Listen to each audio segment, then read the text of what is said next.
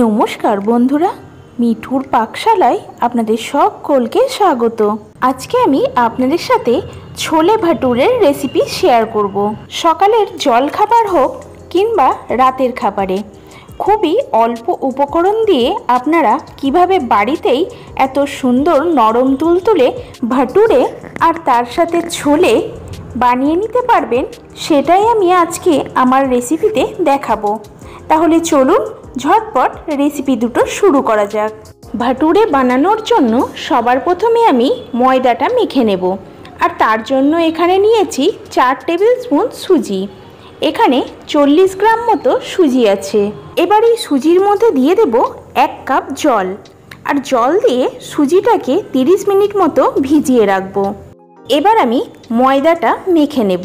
তার জন্য এখানে আমি নিয়ে নেব একশো ষাট গ্রাম ময়দা।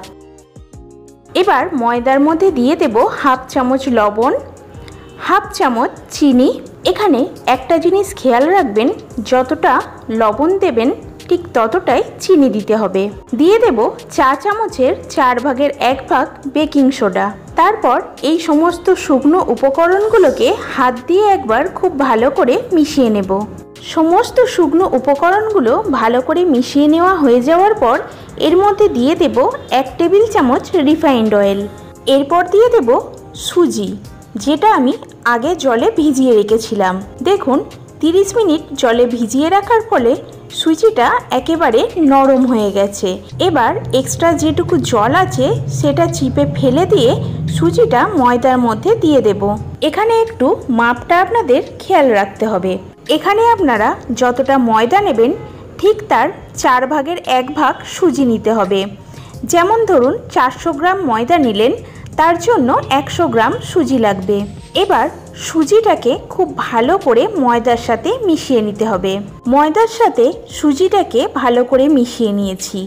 এবার এর মধ্যে দিয়ে দেব তিন টেবিল চামচ টক দই। টক দইটা আপনারা অবশ্যই রুম টেম্পারেচারে থাকা দই ব্যবহার করবেন। এবারে দইটা দিয়ে ময়দাটাকে মাখতে থাকব।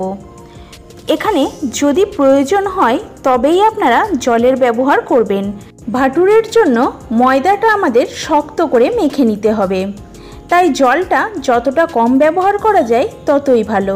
যেহেতু সুজিটা আগে থেকে ভেজানো ছিল আর দইয়ের মধ্যেও জল ছিল, তাই আমার এখানে জলের প্রয়োজন হয়নি। তবে আপনাদের যদি প্রয়োজন হয়, তাহলে দিতে পারেন। দেখুন, জল না দিয়েই কিন্তু এই ময়দাটা আমার খুব ভালোভাবে মাখা হয়ে গেছে।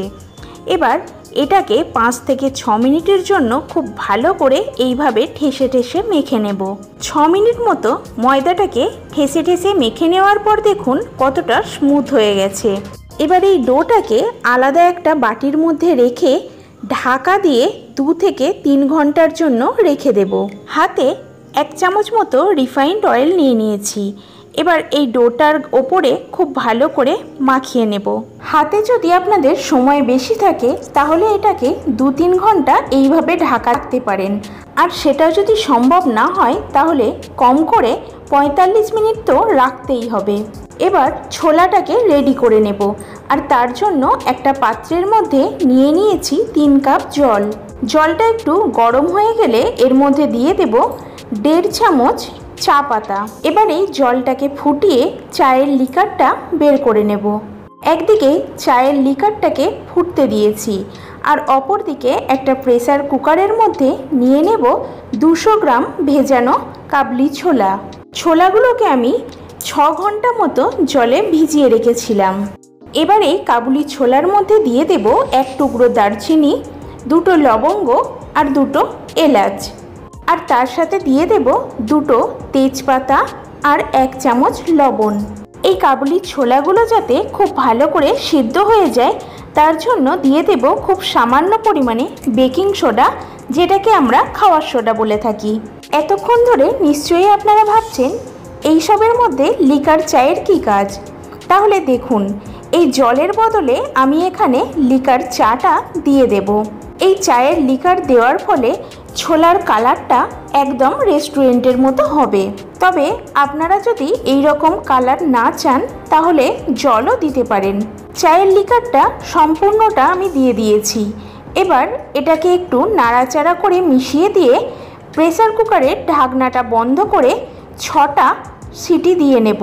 ছোলাগুলোকে আমি ছটা সিটি দিয়ে নিয়েছি। এখন দেখুন, এগুলো খুব ভালোভাবেই সিদ্ধ হয়ে গেছে। এবার ছোলার মশলাটা রেডি করে নেওয়ার জন্য কড়াইতে দিয়ে দিলাম এক টেবিল চামচ মতো সর্ষের তেল। তেল গরম হয়ে এলে এর মধ্যে দিয়ে দেব হাফ চামচ গোটা জিরে। তারপর জিরেটা একটু ভাজা হয়ে এলে এর মধ্যে দিয়ে দেব দুটো মিডিয়াম সাইজের কুচনো পেঁয়াজ।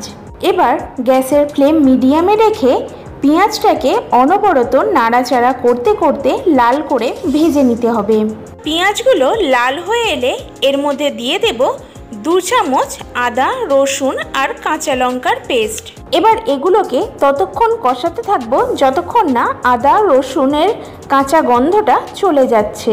পেঁয়াজের সাথে আদা, রসুনটাকেও ভালো করে কষিয়ে নেওয়ার পর এর মধ্যে দিয়ে দেব দুটো মিডিয়াম সাইজের পেস্ট করে নেওয়া টমেটো।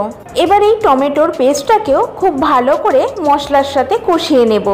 টমেটোটাও কিছুক্ষণ কষিয়ে নিয়েছি। এবার এর মধ্যে দিয়ে দেব এক চামচ ধনে গুঁড়ো, এক চামচ জিরে গুঁড়ো হাফ চামচ হলুদ গুঁড়ো আর এক চামচ কাশ্মীরি লাল লঙ্কার গুঁড়ো।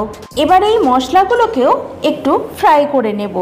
মশলাগুলোকে বেশ কিছুক্ষণ কষিয়ে নিয়েছি। এবার গ্রাইন্ডার জারটা ধুয়ে সামান্য একটু জল এর মধ্যে দিয়ে দিলাম। আবারও এটাকে খুব ভালো করে কষিয়ে নেব। দেখুন, মশলাটা খুব ভালো করে কষানো হয়ে গেছে আর তেলও ছাড়তে শুরু করেছে। এবার এর মধ্যে দিয়ে দেব কাবুলি ছোলাগুলোকে। সব ছোলাগুলো দেওয়া হয়ে গেছে।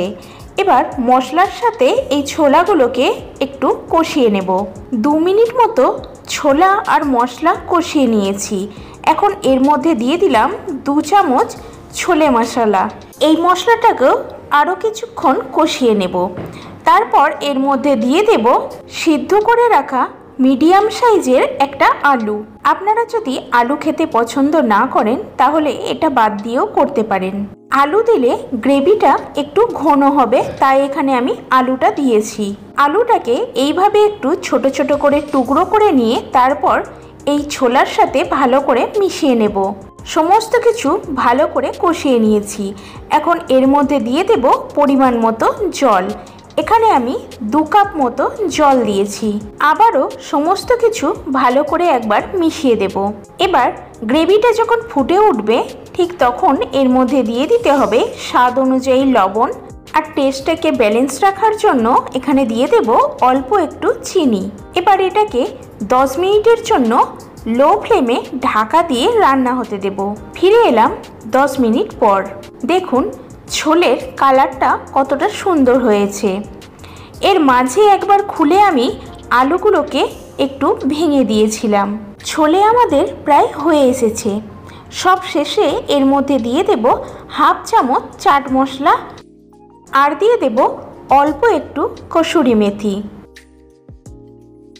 ব্যাস, এগুলোকে এবার মিশিয়ে নিয়ে গ্যাসের ফ্লেমটাকে অফ করে দিয়ে কিছুক্ষণ ঢাকা দিয়ে রেখে দেব। তারপর পরিবেশন করব। দেখুন, কত সহজেই তৈরি হয়ে গেল ধাবা স্টাইলে ছোলে। এবার ভাটুরেগুলোকেও ভিজে নেব। এদিকে ডোটাও আমার একদম তৈরি হয়ে গেছে ভাটুরে বানানোর জন্য। ডোটাকে আবারও একটু হাত দিয়ে ভালো করে ঠেসে ঠেসে মেখে নিতে হবে। ভালো করে মাখা হয়ে গেলে ডো থেকে লেচি কেটে নেব। লেচিগুলোর সাইজ হবে লুচির থেকে একটু বড় আর পরোটার থেকে একটু ছোট। লেচিগুলোকে এবার ভালো করে গোল করে নিতে হবে।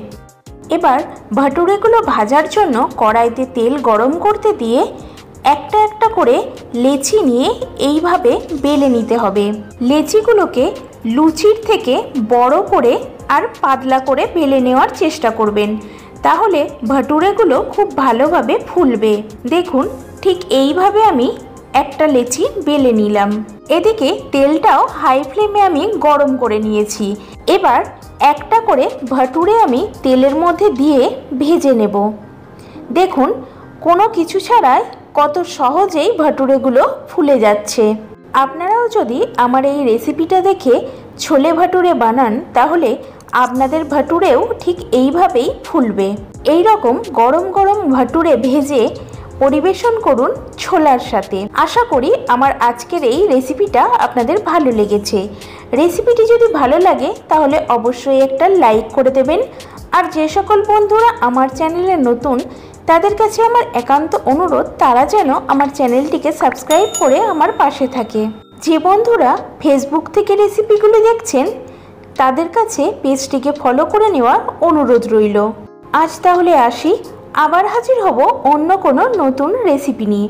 সকলে খুব ভালো থাকবেন। ধন্যবাদ।